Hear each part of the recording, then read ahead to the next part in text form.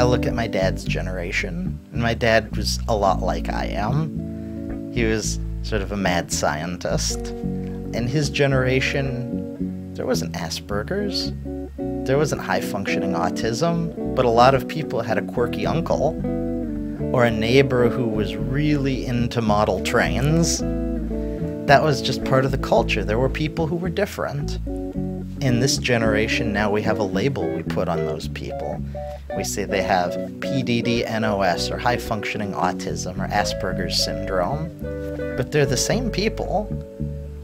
They haven't changed. All that's changed is the labels that we use and how much we understand about their differences. How do you feel about the labels? They can be helpful or not. In a positive sense, the labels give us access to services.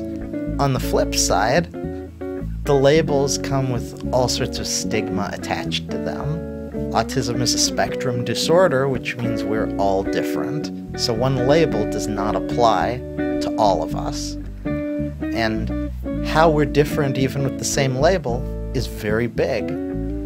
I've met people who have light issues that I don't have, but who don't have any of the sound sensitivities that I have, but we have the same diagnosis. We're all different, but we get bundled together. But I look at the label as a word, and the word only has as much power as you allow it to have. I like to ask people who they were the day before they got their diagnosis and who they were the day after, and what changed the moment a doctor or a psychologist or a teacher sat down and wrote the word autism next to their name on a sheet of paper. What changed? What kind of answers do you get to that question generally when you ask I don't it? get a lot of answers, but I think I think about what changed for me. Well, and what did? when- what was it? As a child, I was different, but I could do whatever I wanted. I could I could have grown up to be president or a rock star or whatever. There was not an expectation that I couldn't try things and succeed or fail. And then I was diagnosed with autism, and they sat me down in a room and told me all of the things I'd never do. I would never live independently. I would never drive a car. I'd probably never have meaningful relationships. I'd never have a career. And I failed their fine motor skills tests, and they told my parents I'd never work with my hands.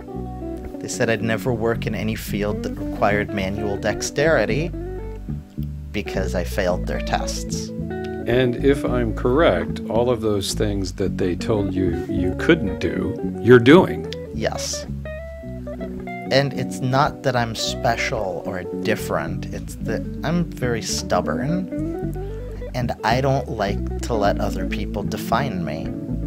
And I think one of the big problems we have in our culture with autism is we put a ceiling over people's heads, whether they're children or adults.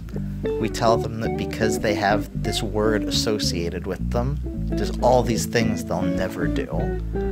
And we set them up for failure, and it becomes our expectation. We expect the generation of autistic kids out there right now to fail. We're setting everything up for them to fail. We're telling them what they won't do or what they can't do. We're telling their families to lower their expectations.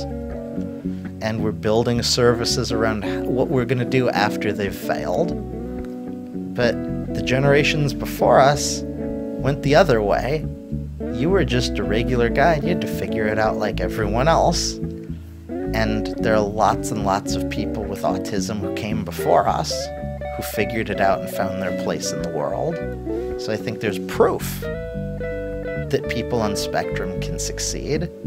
But the difference is how we build them up and support them, and whether we set low expectations and help them achieve those, or we lift them up to higher expectations that are more challenging but also more fulfilling.